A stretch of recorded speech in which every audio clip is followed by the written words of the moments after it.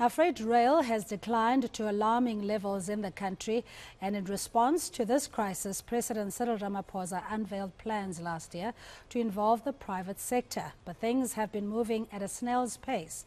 Approval of the national rail policy has been pending for 14 years. And in the meantime, transported freight plummeted from a staggering 230 million tons in 2017 to a dismal 179 million tons in 2021. And to get her view, we have Mesela Nhlapo, CEO of the African Rail Industry Association, joining us this morning. Thank you so much for your time, CEO. Uh, and just give us what the African Rail Industry Association does uh, before we get into the nitty gritties of the failed freight rail infrastructure. The African Rail, and good morning, the African Rail Industry Association, we're an independent body. We represent the interest of our members, including original equipment manufacturers with our multinationals, um, private operators, which uh, most likely will, will, definitely benefit from the third party access that has been uh, part of the, of the rail policy. And uh, we advocate on behalf of our members and make sure that we define the future of railways in South Africa and we revitalize, transform the sector. And your engagement, I mean, which has also led to the approval of the national rail policy, still pending for 14 years. You know, we, we, we are told that we are a country of uh, policies that are second to none in the world, but it's always the implementation that is a challenge. Why do you think this has been at such a snail's pace? I, I think um, government working with private sector is quite key and um, even with the rail policy that was uh, approved last year by, by cabinet. And um, we may say a lot of things about uh, at the time Minister Mbalula, but he, he moved very, very fast from a policy that was uh, hanging around from 2020, uh, I mean, SSS 17. So we were able to, to work hard at very late at night to ensure that um, that consultation, that working with business is quite key. Government will do the planning and will assist government in the implementation.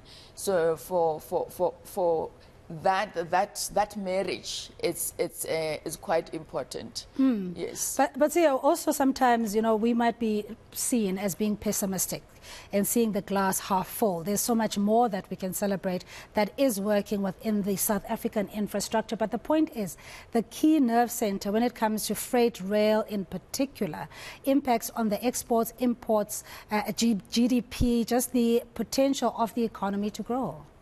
Look, uh, logistics are the backbone of the economy.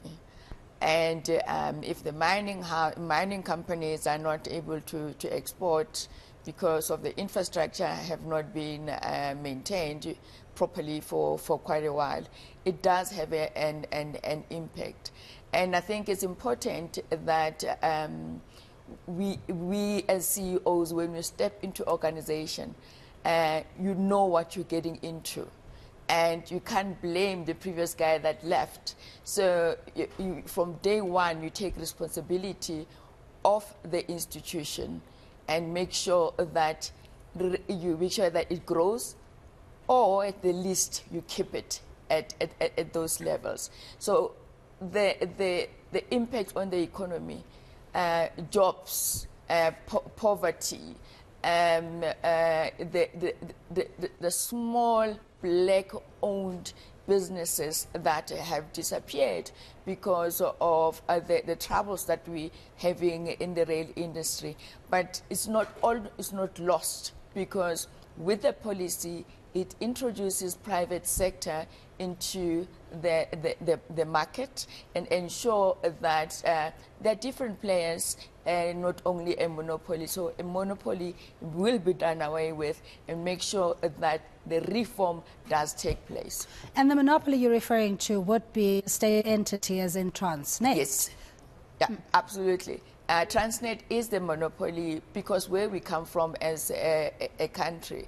And um, it's, it's, quite important that if you want to grow the economy, if you want to export, if you want to revitalize your manufacturing sector, if you want to take advantage of the CFTA, if you want to connect the continent, if you want South Africa to lead the continent into uh, uh, uh, uh increase the intra-Africa trade, railways are important. They are the only only mode of transport that is cheaper and will connect the continent and increase intra-Africa trade. All right, before we look into opportunities for small, medium enterprises and the issue around transformation, we're just looking at volumes here. Transported freight plummeting from 230 million in 2017, that's 230 million tons, to um, uh, a, a, a meager 179 million tons in 2021. This is not necessarily a sign of growth.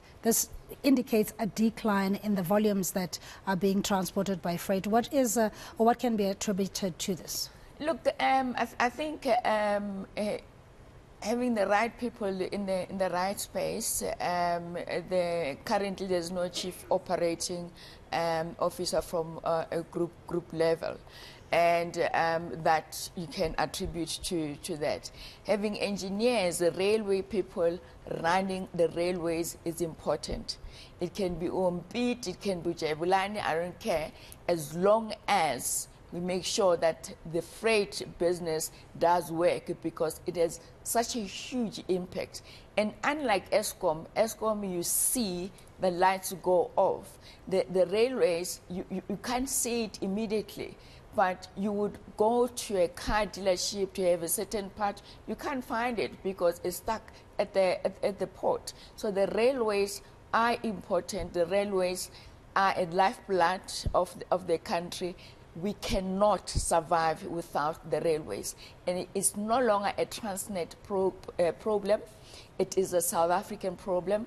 It's a crisis that we are addressing through the presidency, so through Operation Vulindlela. So we are working in the background to resolve this. It's not up to Transnet, but the South African problem, the South African crisis. Before we let you go, CEO, very briefly, are the playing fields leveled now when it comes to transformation and uh, creating an environment that is conducive for small, medium enterprises, particularly black? It will be difficult if you have uh, two state-owned entities that do not procure for, for a while. It, it kills business. I mean, the little gains that we've had, women-owned uh, uh, uh companies, they have disappeared. So how the states run those entities is important for transformation.